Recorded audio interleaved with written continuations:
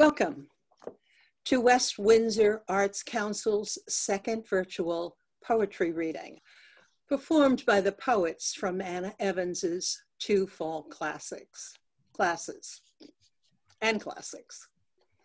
My name is Joanne Sutera.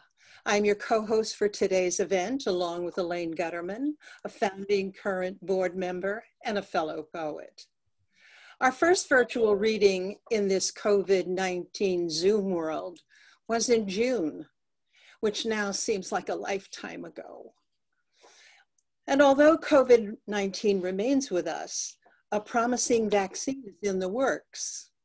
Gratefully, the election is over, we think. We have learned to navigate technology and have settled into our real and virtual lives such as they are. We are poets. With societal upheavals, divisive news stories, real and fake, and fear of the unknown, we write. We record the past, the present, the future, in verse, meter, and rhyme. We compose. We draw comparisons in simile and metaphor. We create. We call up vivid images to illustrate the abstract and like writers of other disciplines, we use humor and pathos to describe what we see and feel in the world we inhabit. And dear guests, we thank you. In today's challenging times, we are grateful for your donations to help the Arts Center continue its mission of cultivating the arts for individuals and communities. And also, we thank you for just being here. Before we get into the um, program, a reminder, if you wish to applaud virtually, there are emojis at the bottom of the Zoom screen. Over to the right, um, you will see something that says reactions. If you hover your mouse over that area, just click on your favorite. Now, welcome to Poetry in a COVID-19 World. Please enjoy our performances. Here's my co-host, Elaine Gutterman. Hi, greetings. Um, I'm going to be introducing half the poets and then um, Joe will be continuing to introduce poets. Our first poet is Gail Mitchell. And she is also a quilt maker and a fan of the Geraldine R. Dodge Poetry Festival. She lives in Hamilton. Hello, I'm going to read three poems to you. The first one, they all come from prompts from Anna's class. And the first one is called Gun. I fancy getting one in the shadows of any hood Maybe an alleyway, meet a thug undercover, scared shitless. Password, cockadoodle-doo, silencio. My grip tight on the shank, cold phallic shaped tool, shifting palm to palm. Not a derringer, not a revolver, but a Glock. The second one is called Places Lived. Eight distinct homes, more and more suburban, encroaching into communities. Us, non white, yet keeping the faith. Eight neighborhoods over 53 years ain't bad.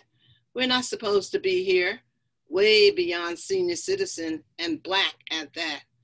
I often think of Ntozake Shange's, for colored, for colored girls who have considered suicide when the rainbow is enough. Screw that rainbow. And my last one is called Real Estate Not for Sale for Anne with an E. It's an abecedarian, so listen carefully because each consecutive line begins with the next letter of the alphabet.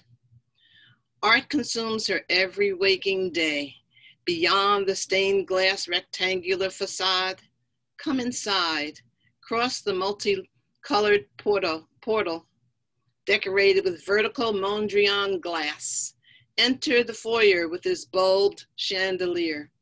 Fairly ordinary interior. 16 steps leading upstairs. Go right into the first floor guest bedroom, heralded with first edition children's books, inked postcards, bingo board games juxtaposed with overflowing baskets of yarn. Kindly rest yourself on the Woodrow Wilson lounge chair presented to long retired husband. Move on up those wooden stairs into the loft, no less overwhelming with crocheted afghans overhanging the banister and walled ladders. Perhaps you have the nerve to peer into her studio, quilts waiting to be sandwiched by machine, ready for embroidery thread and aura-filled silks. Sit on her wheeled chair, take a quick whirl, turn into her closeted computer space, unusually covered floor to ceiling with authored veterans of poetry. Angelou, Clifton, Komunyakaa, watercolored originals peek out between the shelves exactly like she wants them to. Visibility the key. You interested in making an offer? Zero chances she will sell. Thank you. Great. Okay, our next, our next reader is Hannah Fox, who lives in Montgomery. Her plays have had staged readings and workshop productions in New York and Princeton. She recently published her first book of poems, Looking Through the Far End of the Telescope, A Life in Verse. Thank you, Elaine, and welcome to everyone. I also am going to read poems that were from prompts from our workshops in the summer and fall. The first one, the prompt was choose a poem you love and write a version that updates its title in some fashion. On being nobody. If I'm nobody and you're nobody too, we're in good company, striving to be somebody to others who are nobody. It might be nice to be a tortoise. It might be nice to stay in place after hmm. beating out the hare in that much applauded race. And thank you, of course, to Emily Dickinson. And it was easy to have a title because her poems are without titles. The next poem is an American sonnet. And the American sonnet is looser. It doesn't require a rhyme scheme or specific meter as the 14 line traditional sonnets do, but this still has 14 lines. American sonnet on walking the dog during the pandemic. It used to be so easy, just put on collar and leash Take newspaper wrapper or two and out the door. Breathe in fresh air, smile at kids playing, amble along, stop to schmooze with neighbors. At corner, let her choose the way, sniffing and doing what she does. Now it's a production, put face mask around neck, fill pockets with sanitizer cell phone, suck in breath, walk quickly, afraid children will come too close, Greet no neighbor except masked at a distance. At corner, tighten leash and say a firm stay. Look left, right, choose way with fewer people. Adjust mask across mouth and nose. Get ready to go. Loosen leash, say okay, cross over and pray. Now the next poem was with a prompt to start a poem with either I love or hate and to come up with unusual extended similes. And this evolved into the breathtaking sense of awe that only happens once in a while. Seeing elephants in the wild on safari, enthralled by the way they stood together, using their bulk to protect one another waving their trunks for food, flapping their ears in response to herd mates nearby. Hearing Nathan Milstein play Tchaikovsky's violin concerto in D major, when the music flowed into my arms, then pulsed through my entire being, and I felt the imperative of having music in life. Tasting apple strudel at the Neue Gallery in Manhattan, reminding me of when I was six and sat on that high stool in the kitchen, watching Grandma perform magic as she made strudel for us. Feeling the soaring of the glider plane after being towed into the silent air, engulfed in blue among white clouds and looking at the green earth below, touching my newborns right after giving birth, when all sensations of pain evaporated and I felt as I hadn't before and haven't since in sync with the universe. And my final poem is, is when I find it, my final poem is a free verse poem in couplets. The trouble with James, you must never go down to the end of the town. A. A. Milne, Disobedience. Firstborn oldest brother James, you were always getting in trouble the two of us more temperamentally alike, with brother Nathan caught in the middle. The son who never gave me any trouble, said our mother with a chuckle. As she rolled her eyes and remembered how you took that radio apart and left it for rubble. Remember when you caught me and locked me out there on the roof of your attic bedroom to teach me a lesson, but you got in trouble because I cut myself pounding on the glass. Let me in. And remember the time you couldn't stop me from going to that dance without a date? You got so mad you broke the hall bench, so you got in trouble while I went to the dance. Recently, the three of us met, you, Nathan, and I, and posed for a picture at the San Diego Zoo. There we were, 253 years of us standing side by side, smiling and thinking, no doubt, how lucky we were all to still be alive.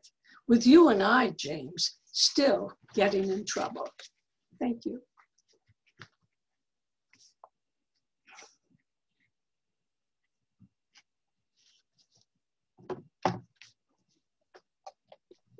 Thank you so much um, for recalling all our prompts in class um, so, so well. Um, our next reader is our co-host, Joanne Sutera, who writes poetry, short stories, and flash fiction reflecting today's crazy world. She lives in Lawrence.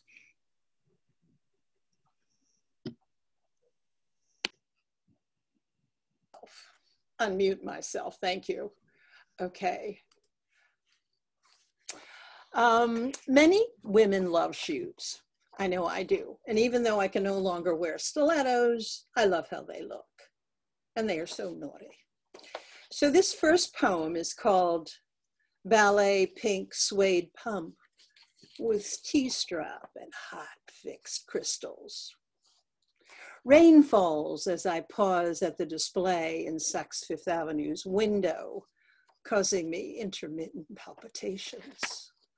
I covet Jimmy Choo's latest sexy shoe, like I desire an exquisite work of art. Four inch heels touted as the perfect pump for day wear. I only hope crutches are an accessory hot fixed crystals and patterned pearls to the toe and strapped to my ankles. Should I wear other jewelry with this much glitz? T-straps and zipper closures conjure up S&M foot fetishes.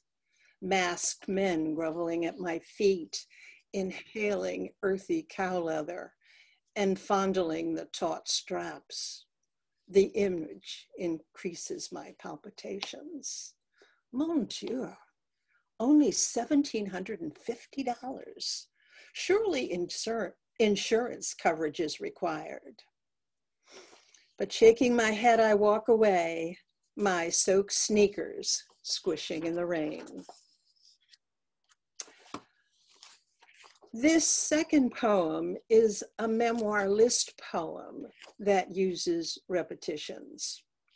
It's called Let Me Set the Record Straight. Maybe it was the tuxedo.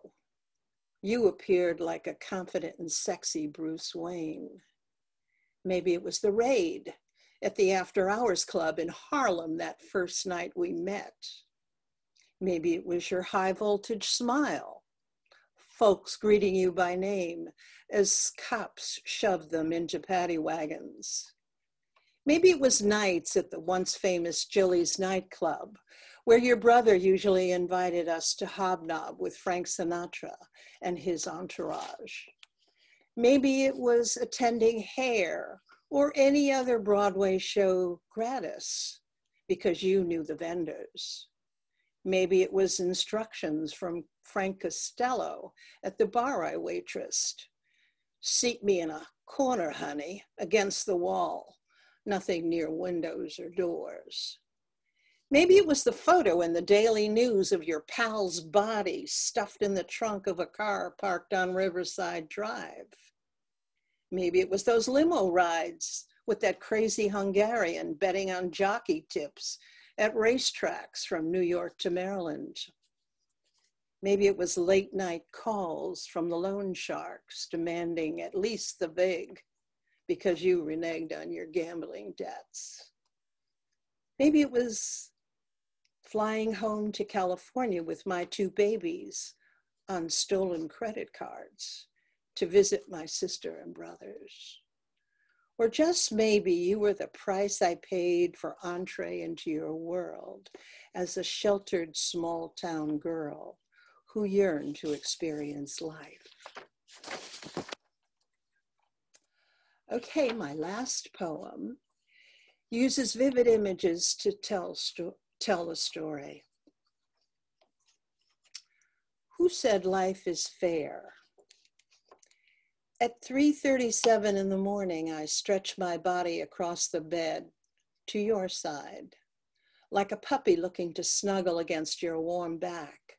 I breathe deeply to inhale your familiar scent, a lingering Balenciaga, and something else I could never identify. And I feel the cold sheets. From the living room, I hear the soft hum of the TV I rise knowing you'll be curled on the leather sofa asleep while those European soccer players you idolize flash across the screen, the new gods of your spent youth. At first, I don't see you. Then I do, on the carpet, jammed between the couch and coffee table, like crumpled old pillows hastily stuffed into an empty space your face contorted with red rug burns, your body lying in a pool of urine. I move the coffee table and roll you over. You babble incoherent words, and drool leaks from your lopsided mouth. Once more, I'm back in nursing school, in an old familiar film looping through my brain running for an instructor to explain what happened to the patient in room 209 whose face drooped and froze in the middle of a word I can no longer recall. Thank you.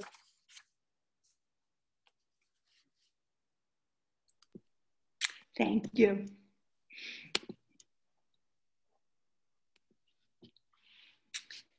Um, our next reader is John Bing, who comes to us from New Mexico, where he moved several years ago. But his community of poets remain in New Jersey. His book of poetry, Time Signatures, is due out in March from Kelsey Press.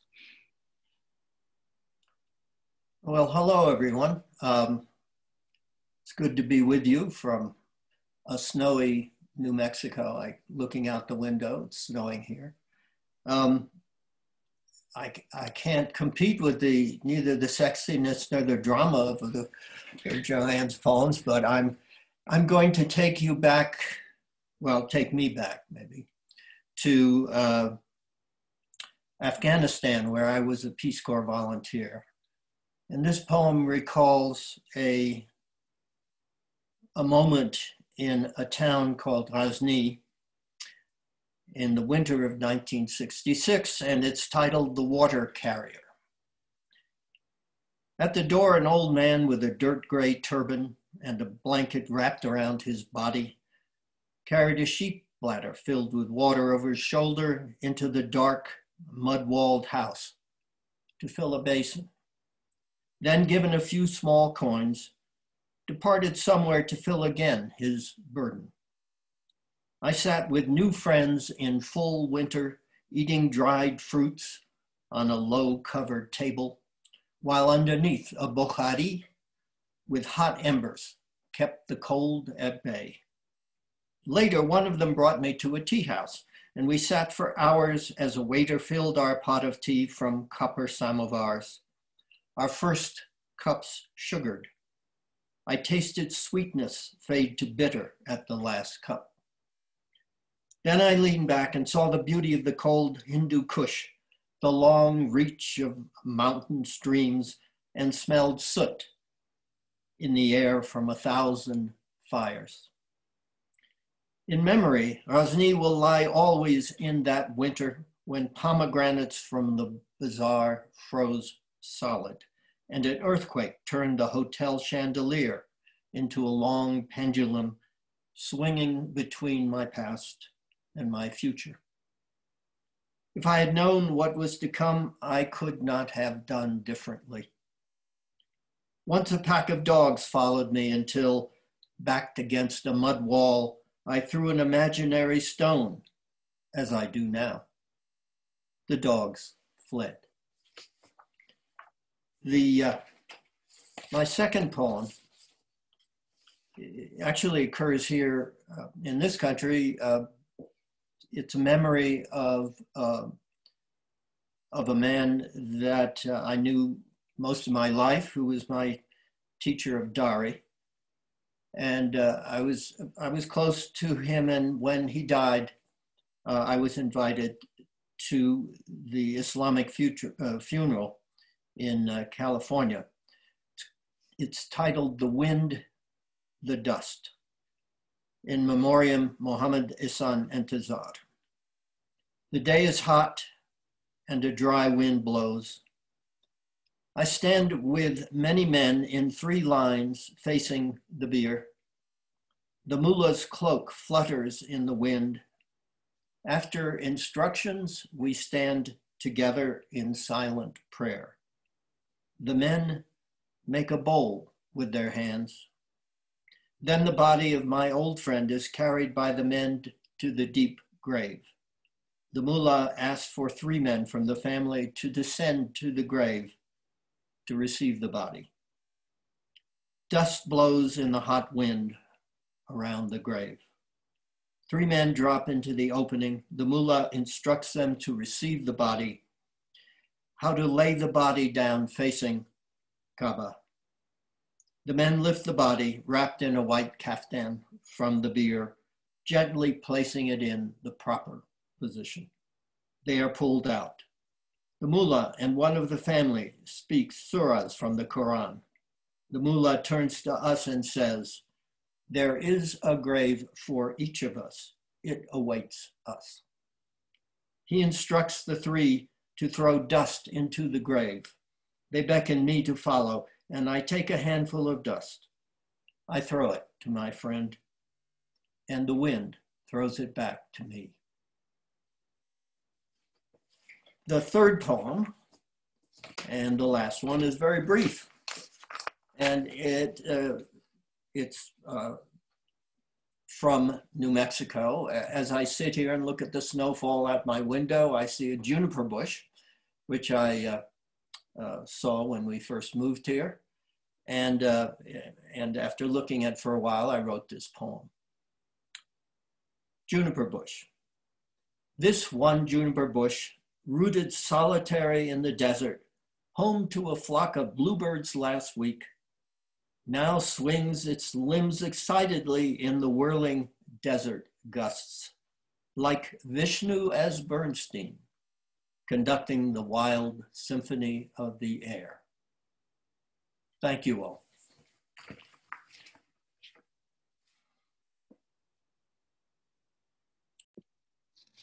Okay.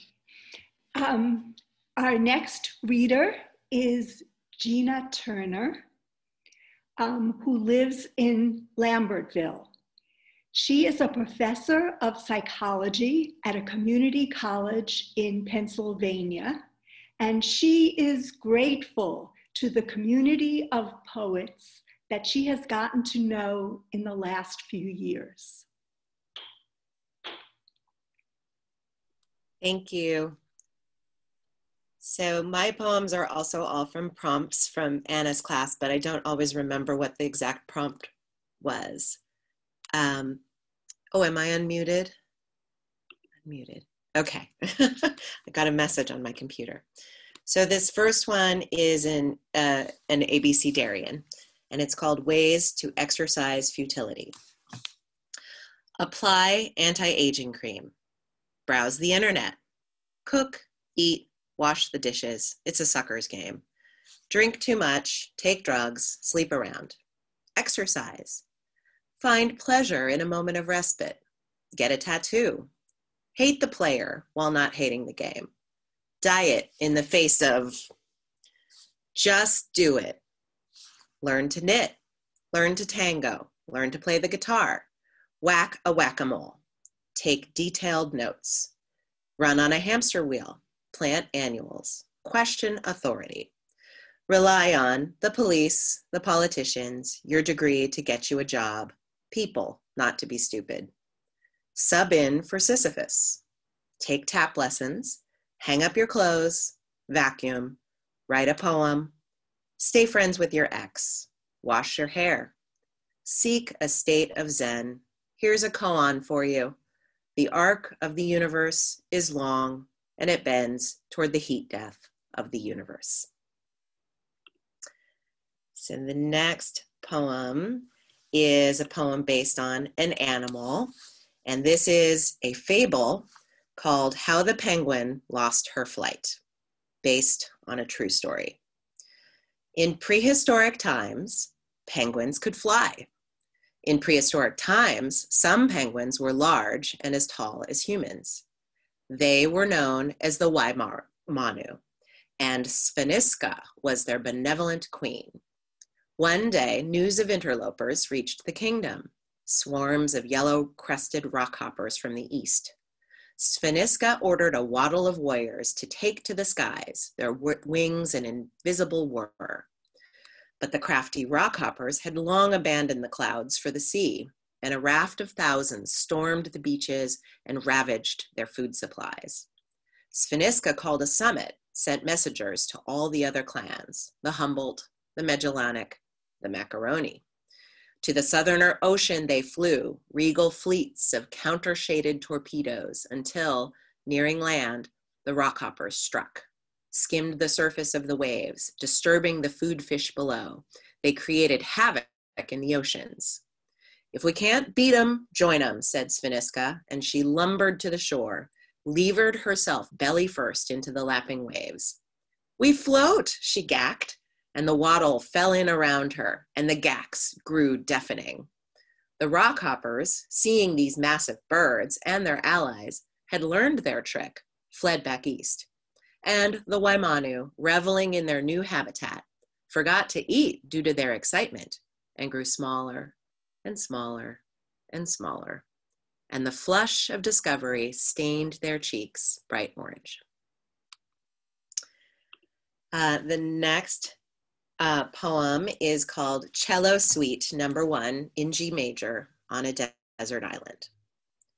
Stranded on a New Yorker cartoon of a desert island with only a cello for company, I learned to play the prelude of Bach's Cello Suite Number One in G major. You know it. For the palm tree, whose fronds tremble in time with my vibrato fingers. Notes soar to the seabirds who swoop like my bow above the strings, which are taut like the beams of sunset. Holding the bow lightly, it floats in my hand, jetsam on the surface of the ocean. Music radiates an ember glow, like the fire that keeps me warm. The instrument's driftwood colored curves echo the edges of the shore, its sun warmed wood felt through my wind and water tattered clothes. The thrum of the low notes vibrates like when the water pounds its fists against the rocks, felt in my first chakra, in the base of my spine. I sway, hug the ribs of my cello's body. Its voice becomes my voice, a lament, a paean, a prayer, a sob of pleasure, a moan of pain, a gasp, a hesitation, a grunt, a rasp, shouts of slander, glissandi of gossip, no one will rescue me if I talk such trash. And finally, with the harmonious pang of the last two notes, a wail of loneliness, a cry for connection. And the last poem is about my dog, and it's called A Walk with Brian. And this is a haibun, I will say also. A Walk with Brian. Cotton candy tail a wag, my fine furred friend, trailblazes the forest path. Shade from the leafy trees mitigates the weight of the day's humidity. Too early for mosquitoes, we must be sentries against ticks. Sniffs of enthusiasm and curiosity yo yo him forward, then behind, then toward the brush, as he splashes himself all over this brown and green frontier. The part of your brain devoted to smell is 40 times greater than mine. Tongue a loll, eager for a drink, he reaches the river, his twig legs, usually dignified by his frothy cream colored coat, exposed by immersion. He ignores the small sticks we throw, which escape down the soft current. He prefers his own pursuits to lap and splash, weave back and forth along the verge of the beach, up and down the rocky shore. Your world is so much bigger than mine could ever be. Thank you.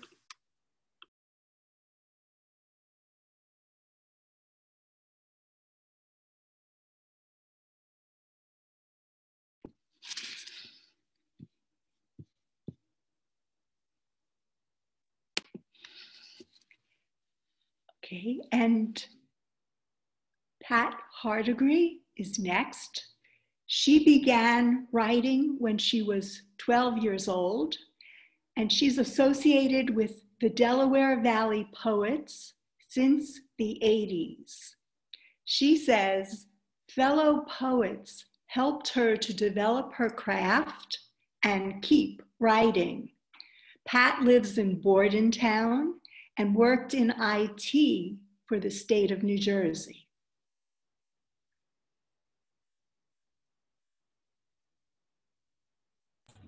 Pat, you're muted. Hi. Yes. Okay. I'm unmuted now, but that little thing won't go away. All right. Uh, it's good afternoon, ladies and gentlemen. Passion Fish.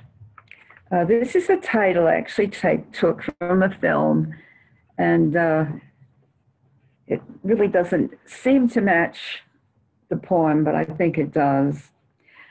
I hear that certain fish can fly. They're at home out of the water. That certain men can love a woman like a large bird embracing flight. I hear that such things are true, but it's as uncommon as the rarefied air high above the tops of mountains. I hear the rush of a great bird's wings as it circles the mountain, looking for a home and rest, and finding there is none. And I'm reading several small, uh, short poems. Uh, love knots. Love knots. When love uplifts its horrid head and beckons to where fools are led. Turn also the other cheek to swat. Patiently unravel your lover's knot. Not that you would not choose to love, nor that you could not lose to love, but that it is an awful pit. Ah, so sweet to be drowned in it. And uh, here's one about dolphins. No one seems to like this, but it's one of my favorites because I associate, I love swimming and diving, and I don't do a lot of diving anymore, but uh, I always lo- love to go uh, skin diving. In the blue green, oh, the title is Skin Diving in Key West Looking for Dolphins. In the blue green water, I'm looking for dolphins, elusive, playful dolphins. I descend to the coral's sandy floor. Bottom fish dart like little pistons. A stingray cruises by. An out of season lobster waves his claws. I salute him, not looking for you. The lobster flails. Or is it screaming? Immersed in sunshine and water, looking for dolphins. The lobster hails me. Story of my life, by the way. Yes, yes, indeed. And um, three. And uh, I've lost count of, I've lost count of the time. So uh, this is a really old one, and, and I wanted to to read poems that I particularly like or that I. Uh, Father of my fathers, I know you. When I am running, wind upon my face, the trace of you list in my stride. In my sleep, heart pumping, blood weeping, you would gnarl beneath my bones. When I was a child, I cried out, arms stretched, mouth open, for the aloneness of this unfamiliar wilderness. You were not there. At the ends of dreams, I found you, fragmentary glimpses through weighted veils, impressions in clay smoothed over. Where I go walking, there you are, the warmth of my breath, the strong, the strong, spiny columns of my mind's eye. I am held up. I know your face, and once again, this long departed child in a strange land will greet you. Father. And I have, um, I don't know much time, some haiku, and I'll read a few of these.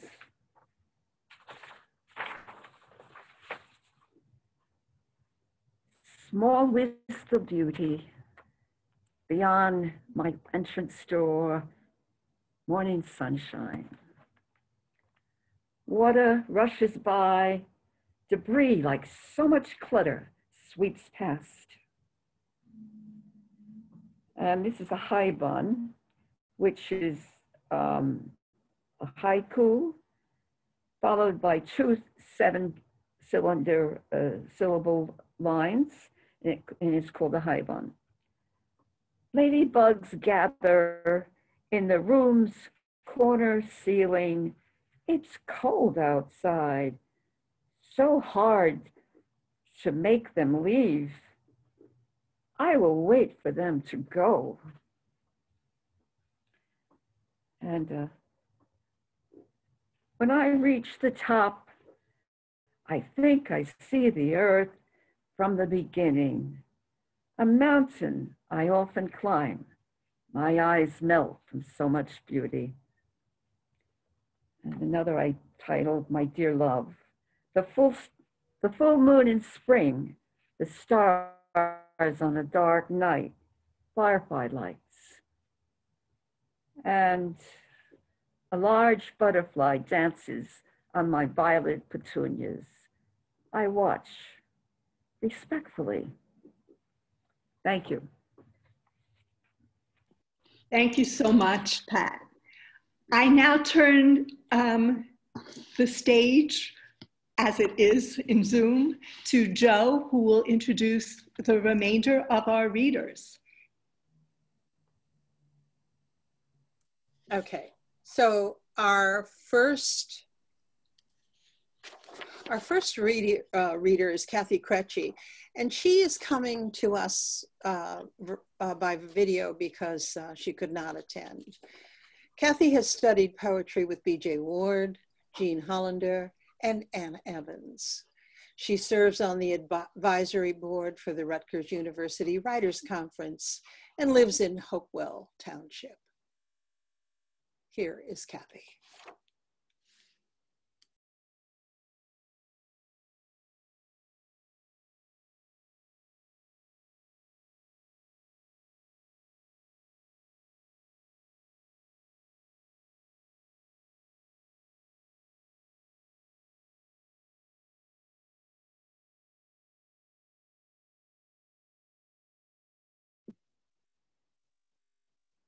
Kirsten, I'm not hearing anything.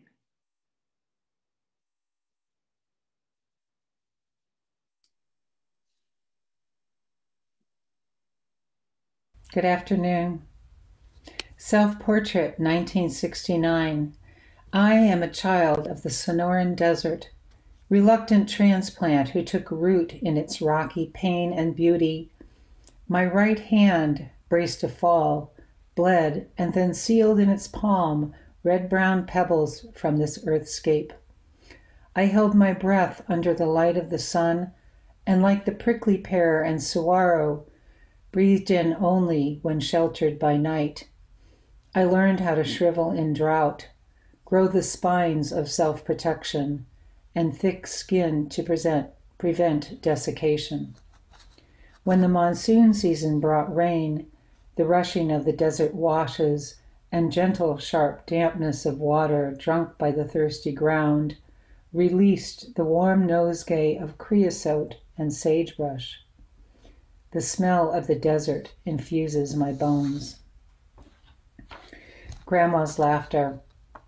I still have a black and white photo of me, a two year old in dress and bonnet, running away on stocky legs from Grandma chasing me on a Chicago sidewalk.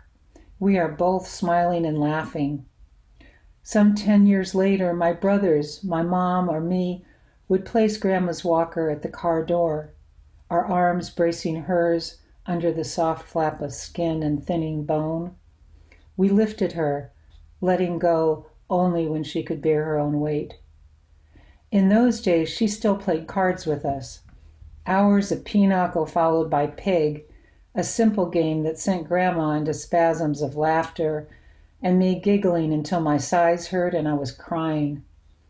I can still feel Grandma's soft face as I kissed her, her hands, her arms, her flesh and bone, spirit expressed in form. My sense of her remains long after death. After the conference, Phoenix, Arizona.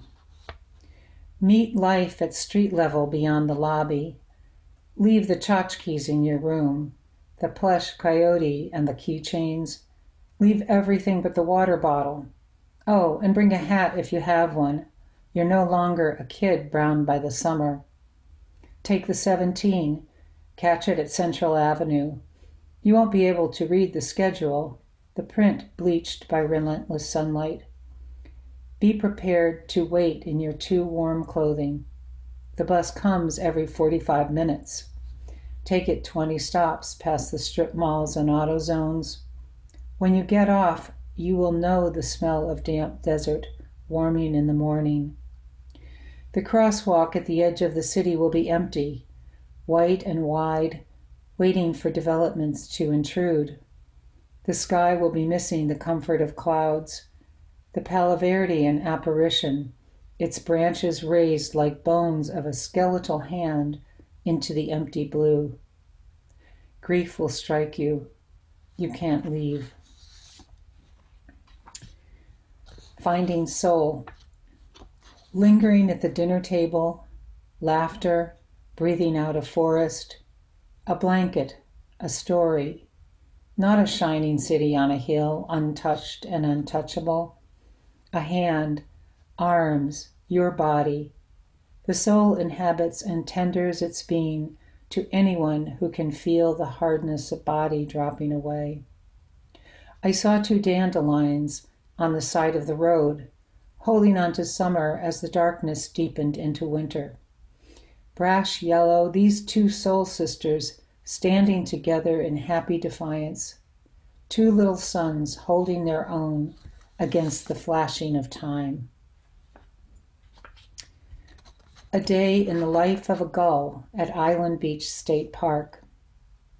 There is a soft draft today. I ride it without moving a wing, letting myself float and hover, loving the view below me. I dip slightly, veer downwards, alighting on the sand below. Holding my wings tight to my body, I lunch on a lone crab leg. I see some old friends gathering. As fast as my bird legs can take me, I hot footed over to meet them. After a little chatter, we take off. Flying in formation, the five of us skim over the waves of waves. The sun glazes the water rippling blue rushes beneath us. We peel off towards the shore and beyond to where the forked river spills its holds of frogs, dragonflies, and minnows into the bay. And finally, my last poem Baseball Stadium, 2020. I miss the security guards, the beer vendors, the ushers, auditioners singing the national anthem off key Poor people lined up after a game for pickup work. Hot dog wrappers, half eaten nachos, abandoned souvenirs. I miss the kid with the ice cream hands, the big bellied man sloshing beer, the boos and cheers and screams, the harangues about some player's mother. But I am not alone now. I am being breathed again. Cardboard cutouts are watching the game enlarged photos, life size, and sitting in my big lap at the field level, in the nosebleed seats, in the mezzanine. These are memorial cards, but not slipped into a musty missal or a sticky drawer. The dead and the living, mourning and joy, are gathered around the field of play, silently watching with sunglasses, hats, and foam fingers the six year old girl who slept with her glove before dying of strep, the high schooler killed at Parkland, paired with his dad, who tolerated games but loved his son. Families separated by generations now sit together. And the animals, too. A beloved Labrador retriever who missed bark at the park, Charlie O. the mule, late mascot of the Oakland A's, who roamed the field before games some 50 years ago. I am now a spirit holder, a refuge from death. Thank you so much.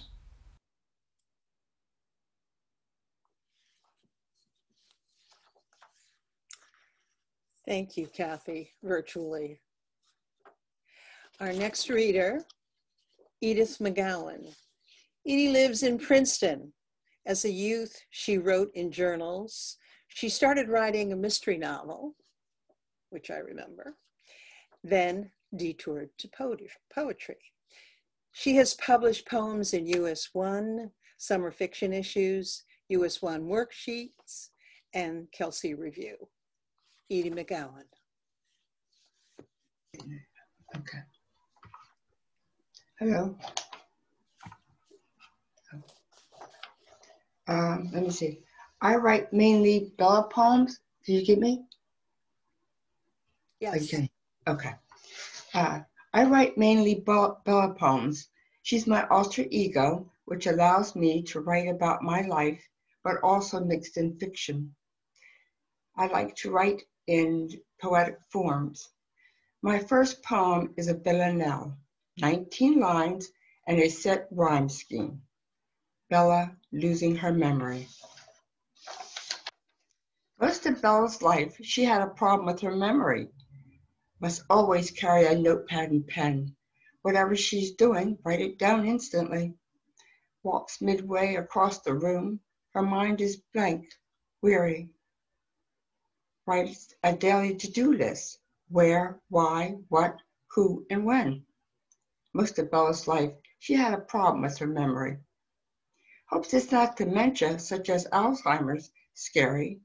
Bella is frightened it's happening more often. When she makes a shopping list, shopping list, write it down instantly. Writes down where she's driving to routinely. Or like Gone with the Wind, it's forgotten. Most of Bella's life, she had a problem with her memory. Bella writes down the time of her doctor's visits promptly. Easy crossword puzzles might help her memory sharpen. When she thinks up lines to a poem, better write it down instantly. Oh, Bella hates to admit her memory loss is worsening daily. Considers taking as, as seen on TV miracle pill Prevagen. Most of Bella's life, she's had a problem with her memory. Better make a will, write it down instantly. My next poem is a triolet sonnet, 14 lines like a sonnet. It has its set pattern of repeating lines of triolet. Same old morning news. Bella only half listening. A quick snip on the morning news cops, bad drug bust, dog, or something. Bella only half listening, shooting, robbing, people dying. She turns it off, has things to do. Bella only half listening, a quick snip on the morning news. Words people immune to hearing. Bella only half listening, investigate, cops lying. Cell phone shows the truth, breaking news. Bella only half listening, a quick snip on the morning news.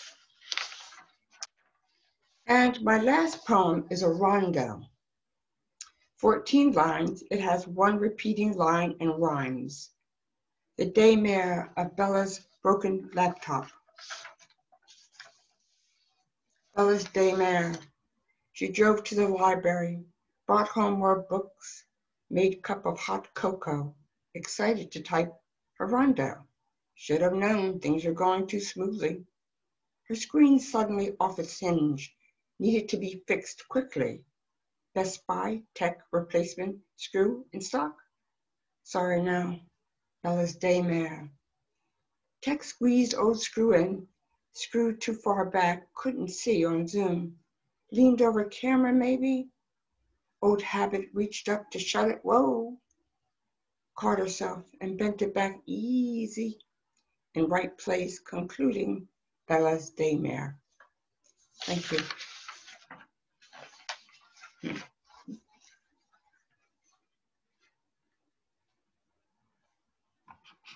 Thank you, Edie. Steve Smith.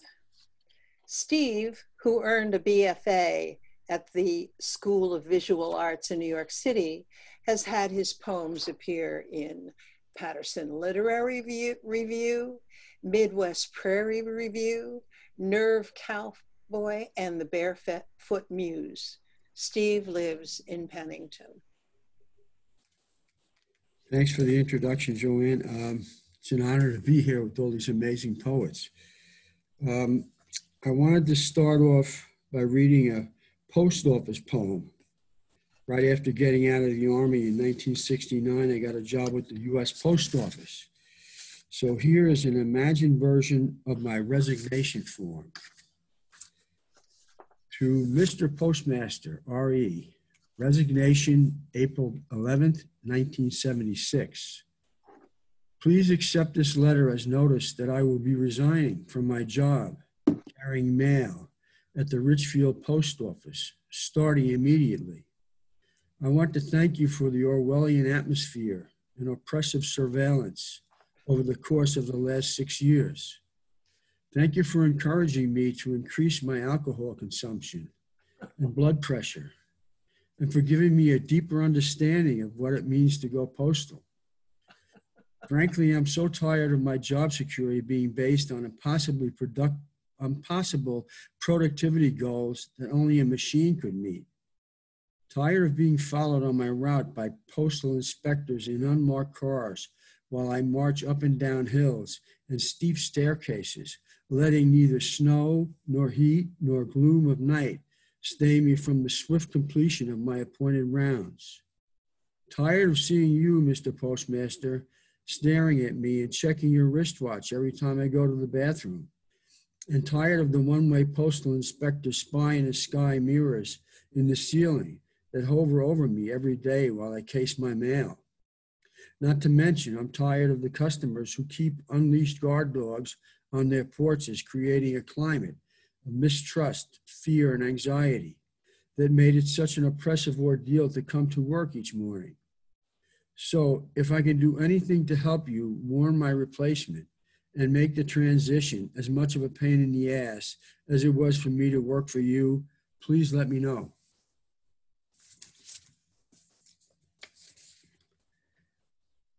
Second poem. This is a poem about moving and leaving a, a house and all the life that that that, that was contained in that house. Before you lock the door, before you lock the door, take one last walk through the old brick colonial. Before it was your house, it belonged to the Snyder family. Before that, the original owners were the Thompson family. At one time, you got married in the living room before your wife's illness came before you spread her ashes in the county park near Trenton, where she grew up. Walk up to the attic and smell the faded scent of varnish and oil paint, and make sure you didn't leave behind any sable brushes, prime canvas, or that old copy of Robert Henri's The Art Spirit. Then go check the bedroom closets to see if any rings or watches or those seashells from the Jersey shore that once adorned the drawers and night tables might be hiding there. After that, go down and check to see if you removed all the bags of cat litter in the basement and make sure the furnace is turned off. At one time, three kittens, Sammy, Kelly, and Pumpkin, were born here. After that, check the garage and make sure all the metric wrenches, hammers, and spackle knives that you plan to use again are not still there. After making sure all the windows and side doors are locked, stop and take a deep breath of the house's familiar aroma. Step out onto the front lawn under the dappled shade of the sycamores to take one last look at the house you owned over the past 25 years. And finally, close the front door. And after you get done locking it and seeing your reflection in the front window peeking back at you, Run your hand softly over the door handle, the brass knocker, the door frame, and its moldings and mullions. Um, here's an ekphrastic poem. Um, imagining I am Chaim Soutine at the Louvre. I feel it's my destiny to be standing there in the grand cavern of the Louvre, pondering Rembrandt's painting, Slaughtered Ox, my spirit in turmoil as I wonder if there is any meaning behind the work, if it was just a dead ox, or if my very soul resided somewhere in the painting. Infused with Rembrandt's swift lines and the way they give the painting coherence with thick strokes and glistening varnish that makes the big chunk of meat with its flayed ligaments and bloody tendons come to life it stirs memories of the Russian shtetl of my youth, the slaughter of livestock, the, the pogroms, the village students who bloodied my face for making caricatures of the local rabbi. My father warning me not to become an artist. All of it swirls in my mind. Then in the Louvre, I become swept up in, ex- in an ecstatic frenzy and see my brush swirling like a tornado of revenge against my oppressors painting like a surgeon operating on the carcasses of plucked fowl and dead rabbits on hooks, seeing their smooth, grease smeared flesh and viscera as slabs of paint. Imagining how their stench would test my neighbors. I tell myself I will paint with whatever it takes the discarded brushes that litter the floor, of my studio back home. Use palette knives, sticks, my thumbs, or my elbows if necessary.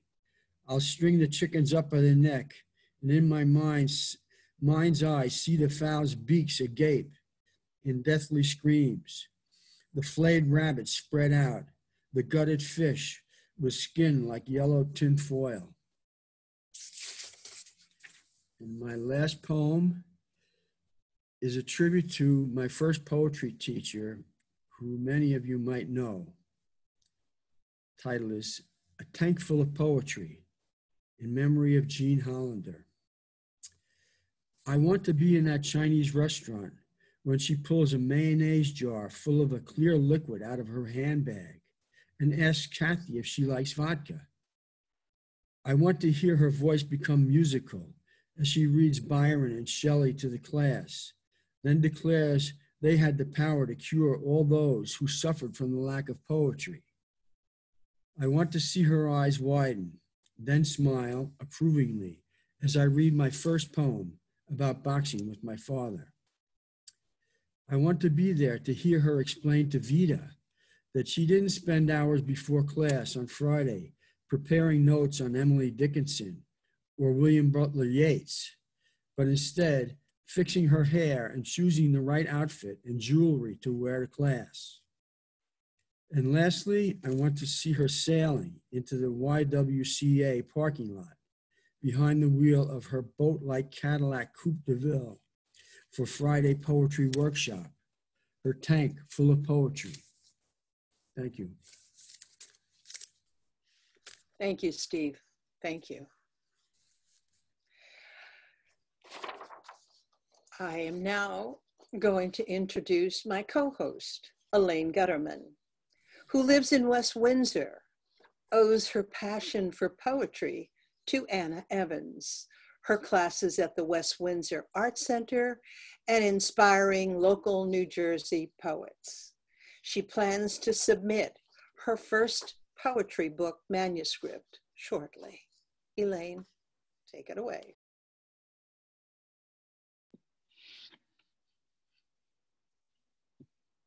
Okay. Thank you so much. I think you can, um, those of you who are visiting, can all appreciate how much, um, this here? Um, why I value my fellow classmates so much and how much I learn from their from them and their poetry.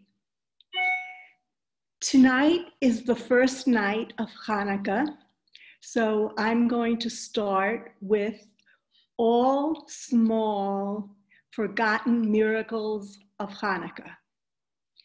These are the eight days of obsession when the lowly potato is elevated to high cuisine. Recipes for latkes multiply like stars in the sky at dusk. We search for traditional latkes like Bubby would make, even if Bubby did not cook from a recipe.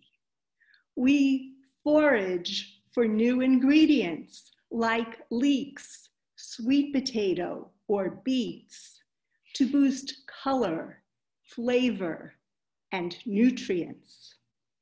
Durable Eastern European potato, you survived the cold of the shtetl. Immigrants' passages to new lands, merging cultures, and the seductions of hummus, tacos, and spaghetti. I sink into the dirt from 10 baking potatoes as I wash and peel their skins. Then go all in to hand grate their firm, bulbous flesh without donating my own.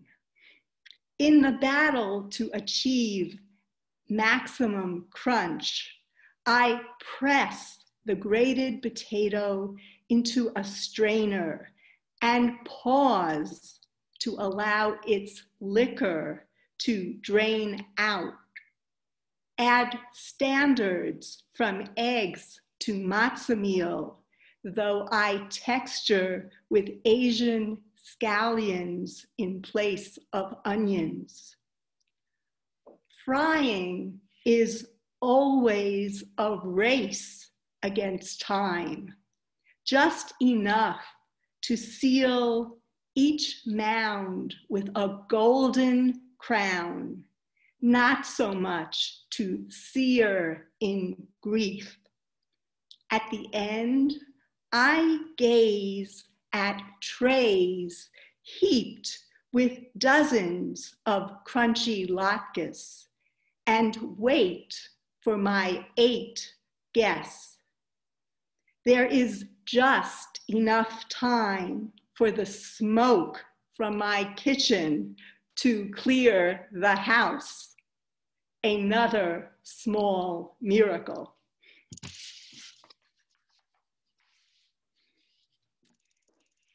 Next, I'm going to recall my water escapades of this past summer and fall. FYI, a single scull is a long, narrow crewing boat for one rower.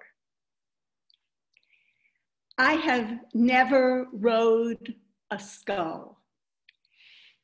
Seated in my inflatable kayak, cresting the ripples of Carnegie Lake in a slow paddle, I chart the shore's greenery in its turn from gold to crimson. Each time the occasional scull flies past me notably those piloted by silver haired women, my imagination flutters wildly like a ring billed gull. What if I owned one of those? Yet, what about parade like gulls? What about the rack to hold the scull? What about the car with roof bars to support the rack? What about the arm and shoulders to hoist the scull up and down the rack? And finally, where to find the affordable used scull. But let me follow my fantasy. A scull is the long winged gull that transports me to the outer banks of my imagination, skimming over the lake, seated in a mechanism that orders every muscle from foot to shoulder to orchestrate speed.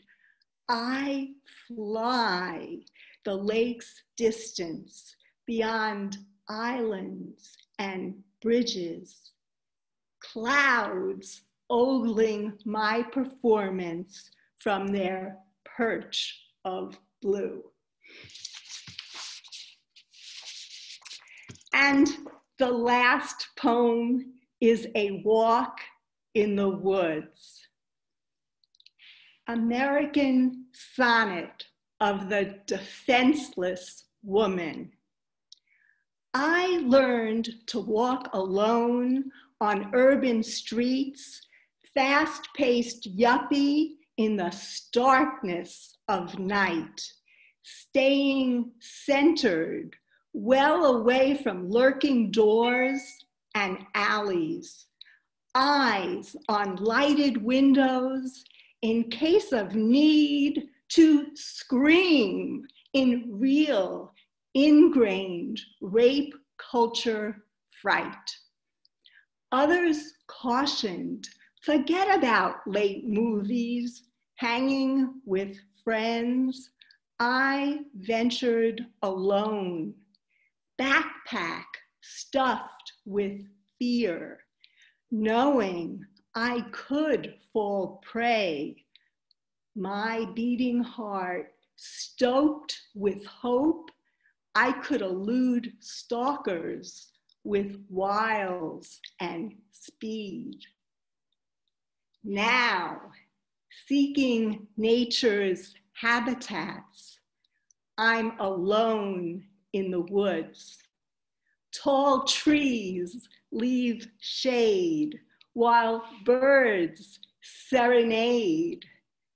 Paths wind over streams. Frogs twang in bass notes.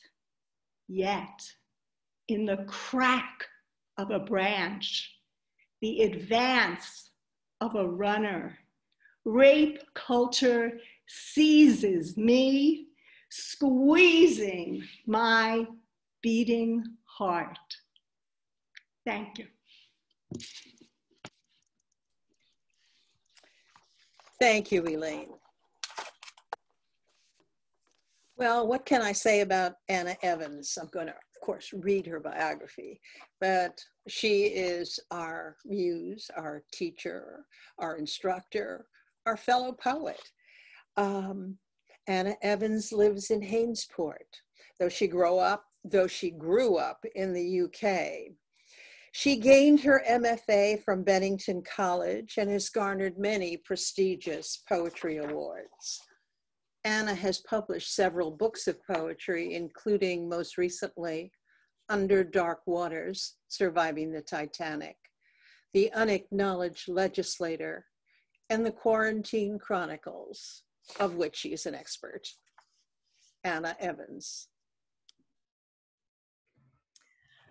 Hi, everybody. Um, what a joy this is. I really love um, reading uh, my with my students.